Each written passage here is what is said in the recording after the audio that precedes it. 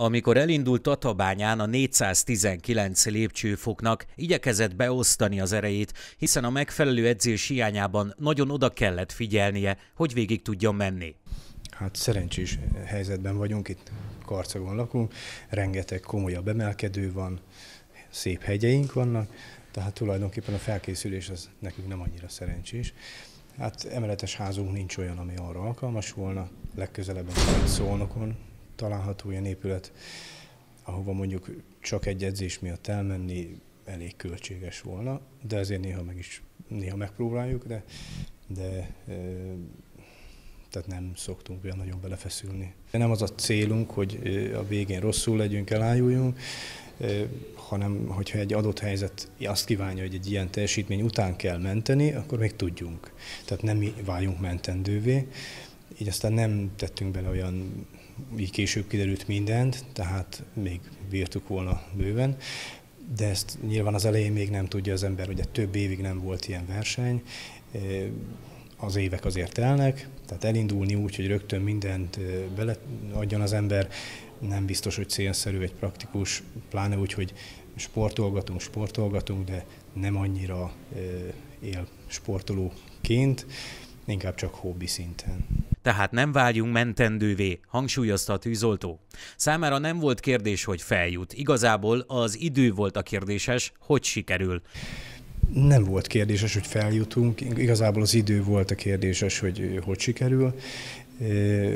Dániel Sándor barátom, ő azt hiszem, hogy a három évvel ezelőttihez három-négy másodpercet rontott, tehát úgy gondolom, hogy az, az egészen jó teljesítmény, tehát fizikai erőnlétével nincsen probléma. Én nem tudom, hogy mennyi különbség volt a pár évvel ezelőtti idő és a mostani idő között, de nem lehetett túl sok.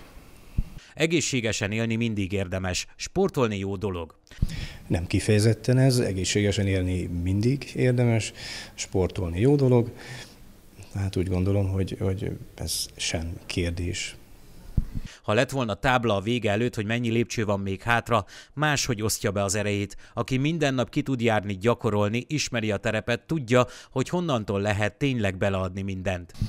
Valószínű, hogy ha a vége közelette jelező van, akkor, akkor biztos, hogy többet tettem volna bele, mert hogy akkor, akkor már érzi az ember, hogy mi erő van még benne, és látja a távot nagyjából azért már fel tudja mérni. Nyilván ez azért annak kedvezőbb, aki, aki minden nap ki tud járni, gyakorolni, de legalább hetente egyszer, ismeri a terepet, tudja, hogy honnantól lehet tényleg beleadni mindent.